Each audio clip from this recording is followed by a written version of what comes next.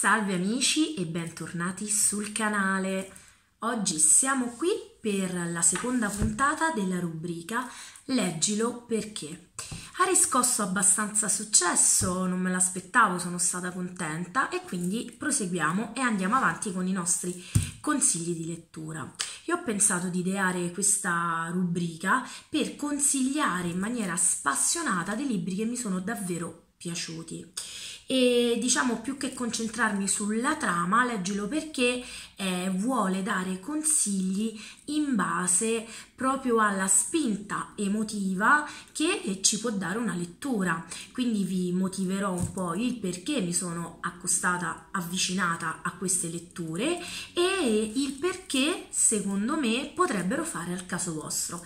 Partiamo subito vi presento uno dei miei libri preferiti scritto da uno dei miei autori preferiti che è Joel Dicker. È l'autore, il libro dei Baltimore la casa editrice è La nave di Teseo e l'autore eh, ha scritto La verità sul caso Harry Gebert, che da poco tempo è uscita la serie TV su Canale 5. Mi è sembrato di, di averla vista lì, però credo eh, che sia anche su qualche altra piattaforma. Purtroppo l'ho persa questa serie TV, spero di recuperarla in qualche modo. Non so se l'avete vista, comunque vi consiglio sempre prima di leggere il libro. Allora, questo libro ve lo consiglio perché? Intanto par- parliamo della trama solo tre parole. È un libro di formazione perché parla dell'amicizia tra due cugini adolescenti e della loro appunto formazione e crescita in questi anni molto delicati. Siamo comunque in America. Eh, parla di famiglie americane benestanti e famiglie americane mh, che non se la passano molto bene, quindi anche differenze eh, sociali, culturali. Parla di legami familiari e di queste due famiglie, appunto, di, di questi due cugini. Parla di bullismo e diciamo le tematiche sono diverse. In qualche modo parla anche di amore. È un libro che ve lo consiglio, leggilo perché se hai il blocco del lettore. Diciamo che ehm, può capitare no? a noi lettori forti specialmente eh, magari di avere un blocco, di essere un po' stufi di leggere magari lo stesso genere, le stesse cose, oppure semplicemente non ci va di leggere per un periodo. E allora ci serve qualcosa di stimolante. Questo sicuramente è un libro che aiuta chi ha il blocco del lettore. Perché? Joel Dicker ha questa scrittura coinvolgente, veramente io sono rimasta rapita dal, da questo libro in particolare perché veramente cucinavo in casa, facevo le mie cose e appena avevo un, un secondo tornavo subito al libro per leggerlo. Mm, sono tipo 600 pagine, circa 600 pagine, l'ho letto in neanche una settimana, quindi è scorrevole, è entusiasmante, vuoi andare avanti di capitolo in capitolo per capire come si evolve la storia, è comunque un giallo, un thriller a quest'alone di mistero, quindi lo consiglio eh, sia ai maschietti che alle femminucce, insomma a tutti, eh, soprattutto ecco, a persone che hanno così, mm, vogliono leggere qualcosa che mh, mm, in pochi giorni lo vuoi di, divorare come libro, quindi di leggere qualcosa di stimolante, di, di sorprendente e è anche una storia che poi resta, resta nel cuore.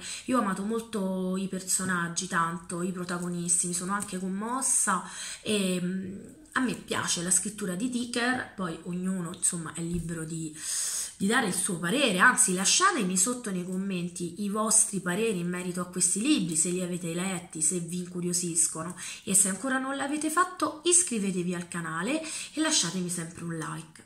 Quindi questo consigliato. Andiamo avanti con un altro libro che ho amato, altro mattone. Ora uscirà il terzo di questa quadrilogia dell'autrice francese Christelle Dabot. La quadrilogia è eh, dell'Attraversa Specchi, il primo libro era Fidanzati dell'inverno e questo è Gli scomparsi di Chiar di Luna. Io vi chiedo scusa, scusa per la voce, ma ovviamente appena iniziato settembre io già ho preso il raffreddore. Allora, eh, questa saga dell'attraversa specchi è straordinaria, io non leggo fantasy in generale, però mi sono accostata un po' a questo genere e lo sto davvero apprezzando. Soprattutto questa mm, quadrilogia è meravigliosa, si divora e lo consiglio a chi? Leggilo perché? Perché magari non hai mai letto un fantasy e quindi come me ti vuoi avvicinare ad approcciare a questo mondo. È un mondo davvero descritto benissimo, soprattutto nel secondo libro più del primo, i personaggi sono accattivanti, sono stravaganti, eh, ti rimangono comunque impressi nella mente perché sono descritti eh, in maniera anche bizzarra perché sono davvero bizzarri. La storia è sicuramente coinvolgente, abbiamo una ragazza che ha dei poteri particolari, quello di appunto attraversare gli specchi e di leggere eh, gli oggetti.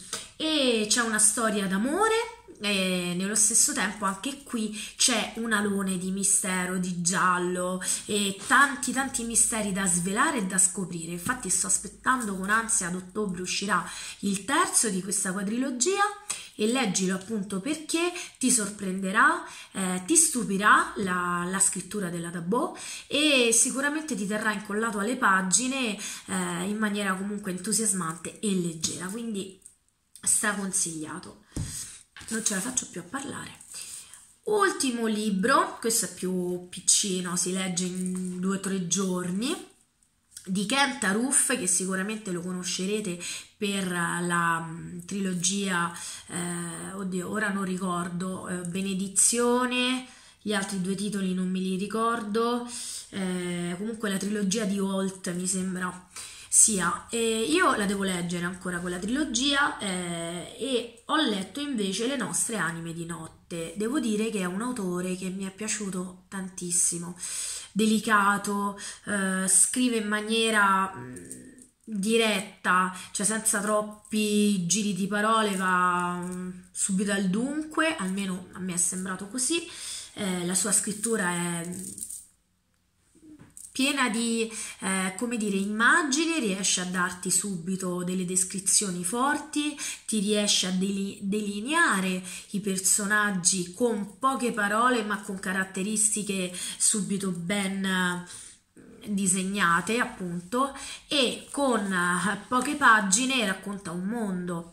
Eh, le nostre anime di notte, leggilo perché è una storia d'amore meravigliosa tra eh, persone mature, quindi parliamo di persone sopra i 60 anni che scoprono l'amore comunque a quell'età, si vogliono rimettere in ballo, si vogliono rimettere in gioco, leggilo perché ti darà emozioni, ti farà commuovere, ma nello stesso tempo ti farà riflettere anche su tematiche alle quali magari non hai pensato, come ad esempio l'amore so- fra persone che hanno più di 60 anni, quanto è complicato rimettersi in gioco in amore ad una certa età, parla di solitudine, parla di mancanza sotto più aspetti, quindi la mancanza del coniuge se viene a mancare, eh, la mancanza dei figli che da adulti prendono le loro strade e magari tendono un po' a abbandonare i genitori, cioè a staccarsi e magari a star meno dietro loro, quindi c'è questa forte solitudine,